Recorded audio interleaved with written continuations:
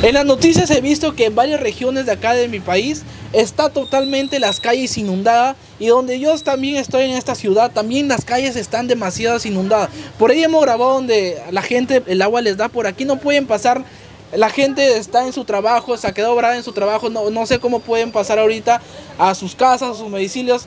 Ahorita estamos refugiados en un parque de recreación de niños porque las lluvias están demasiado fuertes y nosotros por el cuidado de nuestros equipos. ¿Ustedes creen que vamos a vivir el fenómeno que pasó en el 2017?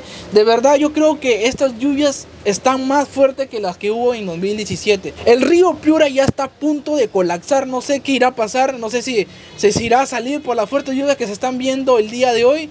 Y pues nada, les voy a dejar con las tomas de detalle de lo que hemos grabado porque de verdad no hemos podido grabar mucho porque por no arriesgarnos por nuestra salud, para no resfriarnos, han habido hasta truenos y todo, de verdad esto, yo estoy demasiado asustado, así que los voy a dejar con las tomas que grabé.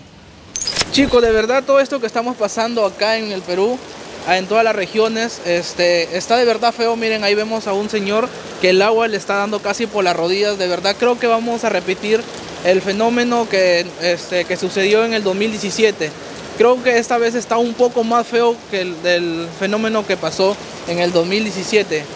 De verdad está todo feo esto, miren. Ahí vemos gente que se ha quedado varada en, en la corte, vemos por ahí, por allá vemos una camioneta. Miren chicos, por allá vemos una camioneta que se ha quedado ahí estancada, imagino por el agua se le habrá apagado el motor. Todo esto se está saliendo de control chicos, así que a tomar sus precauciones todos todo el centro está inundado. Miren, ahí vemos a dos, a dos personas que no saben ni cómo pasar por, el, por esa inundación que hay. Chicos, ahorita nos encontramos en el centro y de verdad miren cómo está todo inundado, miren. Ahora cuando estábamos, temprano, estaba un poquito más lleno, pero ahorita ha bajado este, el agua porque estaba más, más lleno, estaba todo horrible, estaba todo feo, no se podía ni pasar. Yo por ahí este, ayudé a unas personas de la mano a pasar porque de verdad este, las, las, puede ser mi madre no que, que haya podido estar por acá y yo le he dado la mano para ayudarla a pasar la pista porque de verdad el agua estaba hasta por acá y se ha podido caer la señora y yo este, he tratado de ayudarla, pues no. Amiga, ¿qué tal? Buenas, buenas tardes. ¿Qué opina de lo que está pasando hoy en día de las lluvias? Bueno, ¿qué te puedo decir? Sorprendida porque ya casi en estos días ha estado lloviendo demasiado fuerte y aparte, como ven, el río está... A punto de colapsar, ¿no? ¿Tú crees que se salga el río? Realmente creo que se va a volver a repetir otra vez eh, lo que fue el fenómeno del niño. Claro, ¿no? ¿Tú, ¿Tú, crees que está, es más fuerte de lo, que, de lo que se ve hoy en día al fenómeno del niño que pasamos? Está casi igual que... Casi igual, ¿no? que los años anteriores. ¿Usted cree que se está viviendo lo que, lo que pasó en el fenómeno del niño? Mm, Sí parece porque ya hasta el río está bien inundado ya. El río ya está súper lleno, ¿no? ¿Usted cree que el río se salga o...? Si sigue con esa creciente se sale. Se sale, ¿verdad? Claro. No está preparada la ciudad para ese fenómeno, ¿no? No, no, no, porque mira lo que el toque se montó en el agua. Se está viviendo lo que se vio en el fenómeno del niño, creo, en el, 2000, en el año 2017, ¿verdad? Sí, sí, ojalá que no, eso no pase, porque... no, no, no, suceda Sí, sí, porque... Sí, porque creo que este, las obras del río han, han, creo que han construido alrededor del río unos muritos, ¿no? Para que no se salga.